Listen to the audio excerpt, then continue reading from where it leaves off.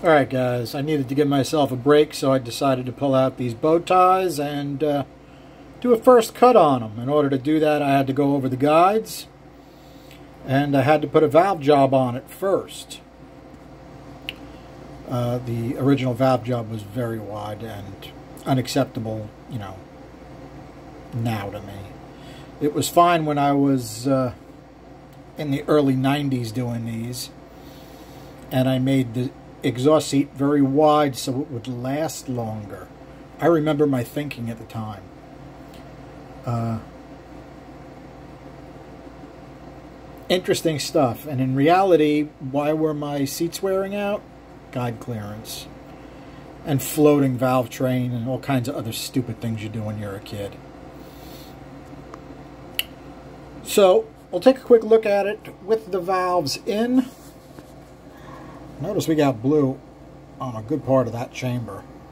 And we got a great splatter pattern across that plug all the way to the exhaust. Let's take a look at the, at the cylinder. Okay, you can see spread both ways that way. You got a little bit of a chunk there, and you've got splatter, splatter, splatter around. Okay, we are much noticeably better on the valve itself now. Way wider pattern. In the bowl, way wider pattern. Way wider. And the, the reason that is, is I had to change the height of the roof a little bit due to the air speeds on the roof. So it obviously liked that. Now, did it get us any flow changes? I'll have to see. Notice we got a nice angle on that, right? A nice angle on that on that Dykem. I really like the way that looks. Now I didn't go insane on this. I did some work. I did the guides, the valve job. The bowl just got touched in order to match it up to the newer valve job. Uh, notice I didn't even, I had to, uh,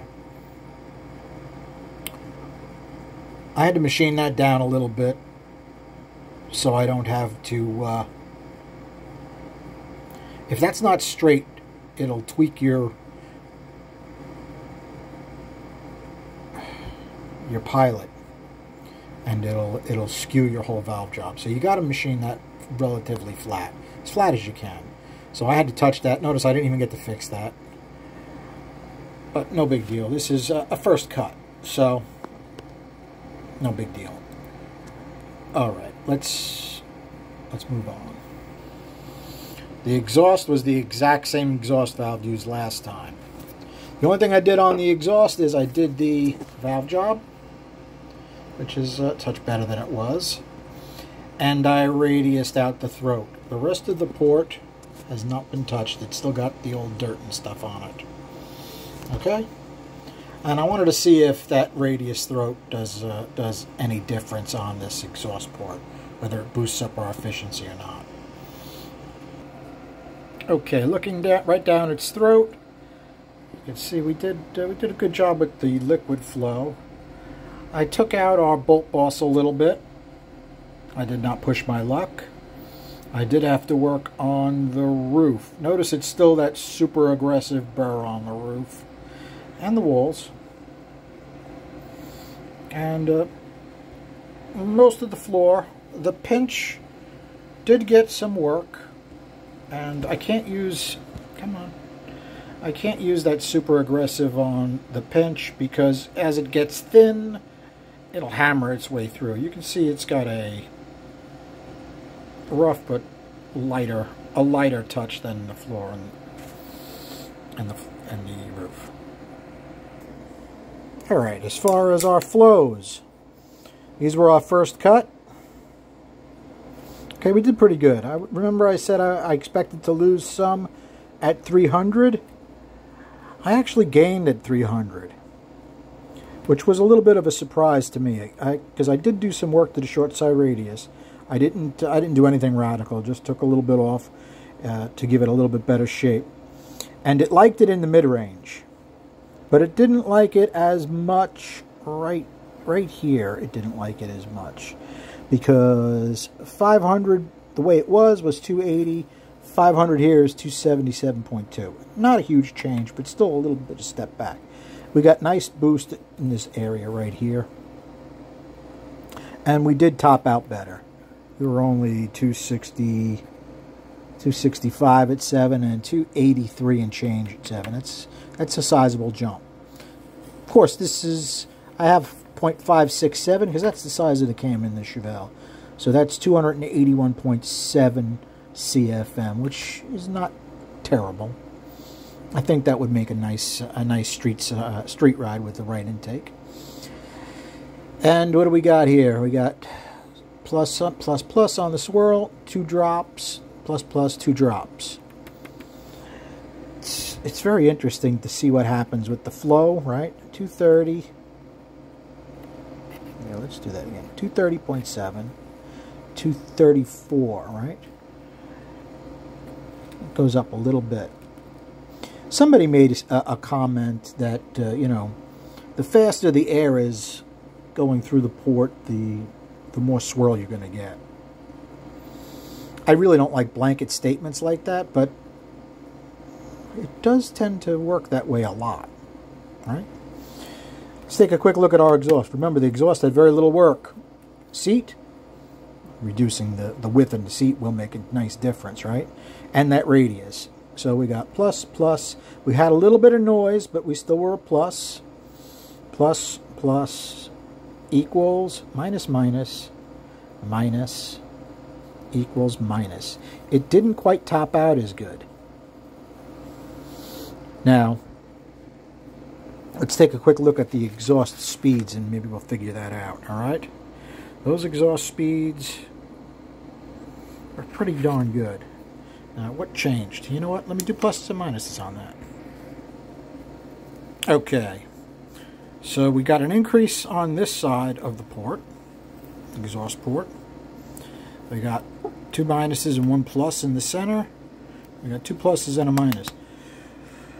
And this was taken at 0.567. This one I actually took it at 0.55. I should I should have done that different. This was done at a half. This one was done at 0.567. It's always best to take them at the same lift, but I guess I really wasn't thinking about what cam was in that. In any case, we can still compare them. As far as our pinch, our pinch did get opened up a little bit, and our speed still went up in the top and the middle. Went down, went down at the floor. That's why DV likes to open up the top and leave the floor narrower which is a real pain because you uh, to get that angle just right on every single one is really a chore. Okay, how do we do on the roof? I, I, according to the air speeds, I gave it more area in one spot.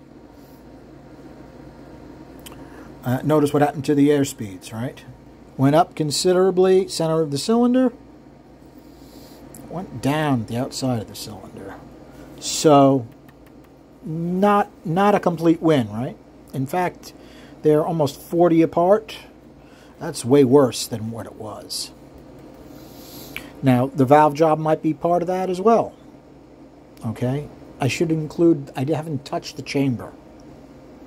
Haven't touched the chamber, but the short side radius got some work. I have to show you the short side radius too. And as far as our short side radius speeds equals went up very fast in the center and it lost a little bit on the cylinder wall side. Okay, working with my lighting, see if I can do a better job here. I got reflections everywhere. But you can see uh, it was changed. It's uh, it's laid back the tiniest amount and the curve over the top has been changed and textured different. One side was brought out a tad wider. That's about it on that. The, the short side could use much more work, but I wanted to see what happened to the, our mid-range flows, so I'm going to take that as a win. Finished talking about the exhaust. The exhaust was good when I started. Okay? It was almost 200, and it's a small port. It's not a gigantic port, the bow tie. In fact, the bow tie port, the outlet of it is a little bit smaller than a 305 outlet going from the flange where you bolt it up to. So I always thought it was interesting that they used that, that bolt pattern on the bow tie, right? Let me measure a, a smaller head and I'll show you. Okay, that's the height difference from the bow tie head to a 305 head. Now the 305 head has has had some work to it. It's not stock. I don't have I don't have stock castings laying around usually. Let's let's do the width.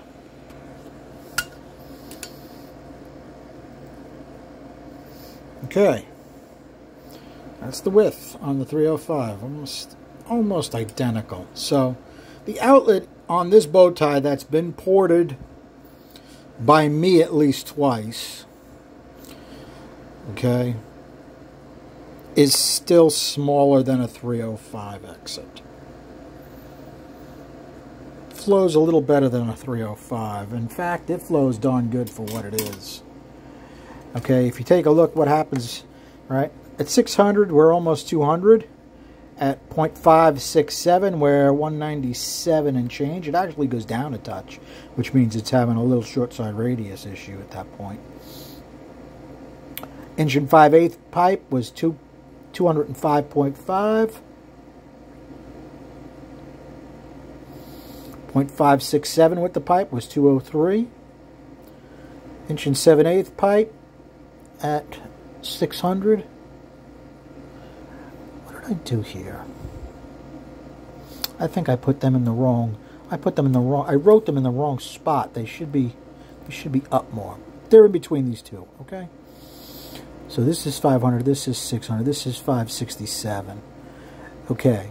So that's why it's smaller. It should be above it. 227.4, 225.1. Okay, and if you start raising the lift even more with a big pipe, you're almost 240. That's that's absolutely that's absolutely cranking. Let's see if we can get.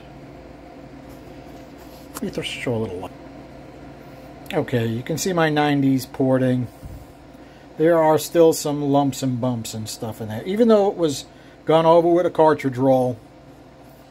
Uh, yeah, learning curve porting is uh, going to be lumpy and bumpy sometimes. You can only do what you can do. Uh, obviously, I'm better now.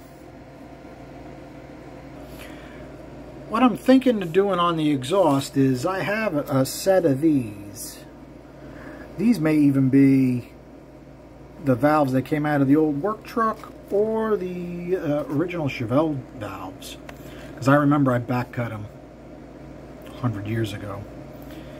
What I might do with these is recut the seat recut the back cut, and then use a stone and machine this away, make it more like a tulip, and reflow it. See if it'll see if this port likes a more of a tulip shape. That would be an interesting experiment. Give me your input on that, guys. What else can I ask you about the, these? You know, for a first cut, I think I got some decent gains. Uh, is it perfect in every way like Wifey? No. Alright, guys. Thanks for hanging out. Have a good night.